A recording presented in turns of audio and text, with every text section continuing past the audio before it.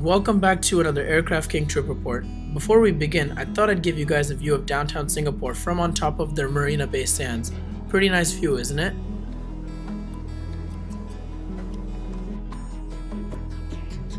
Now to the main event of the day. Today I am flying on Singapore Airlines' A380 new business class from Singapore to Hong Kong. Just now I'm arriving at the check-in desk which, for business class and first class passengers, it's at island number 6, but seems to always be changing locations. But it's a completely separate section from economy and premium economy class. At this time, I was checking in for my flight to Hong Kong. Meanwhile, my mom was checking in for my personal favorite Singapore Airlines flight, SQ12, which goes to Los Angeles via Tokyo Narita. From check-in, it was off to immigration, and immigration itself was pretty quick. Within a few minutes, we were done. After a little bit of walking through Terminal 3, there's a set of stairs that lead you with signage towards the Singapore Airlines lounges. From the escalators, it's actually a bit of a walk till you reach the lounge. Once you do, you'll know it for sure, and the check-in desk is the same for first and business class passengers before the suites passengers head off to a different area. Now, I'm about to give you guys a full lounge tour, so if at any time you want to skip it, skip to 402. The first thing to note as soon as you walk into the lounge is that there's a lot of seating options, and there's many different ways you can go. Let's walk down this hallway and see where we go first. I will quickly add that try not to sit in any of these middle section seats, the reason being there are no power ports. I will show you all the seats that do have power ports. For now let's check out the buffet section.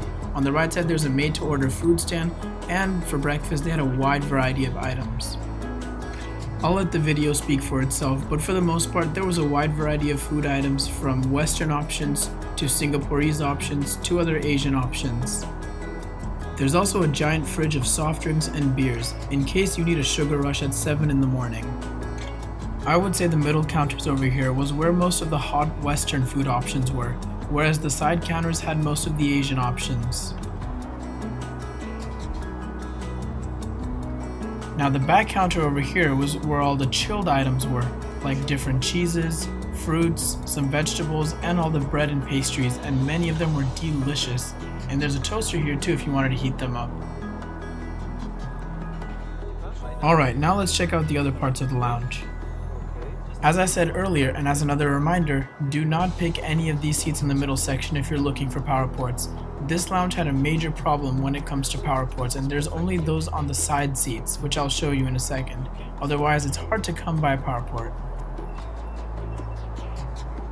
Interestingly, the main drinks area was not even anywhere near the buffet. This is it back here. All your drinks from alcoholic drinks to coffees and teas to chilled beverages, soft drinks, water, everything was back here along with a few other snacks to go with your drink.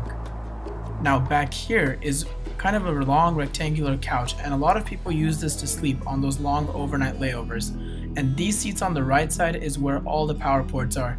I always pick a seat on this side when I come to this lounge as all of these have power ports and USB ports in the central table between each of the couches. As we're walking around, you can see the sheer number of seats that this lounge has, which is a great thing as this is the hub lounge for Singapore Airlines. There's also a TV to the left here in case you wanted to watch anything, and primarily during major sporting events, you'll see those on over here. There were showers as well, however, it was too crowded to show any of them. Remember, at Singapore, security is done at the gate, so do keep that in mind when timing when to go to the gate. Here's a look at the beautiful A380 taking me to Hong Kong today. I could have stared at this for hours, but within seconds of me arriving at the gate, business class and PPS club members boarding had started, so I had no choice but to get on board.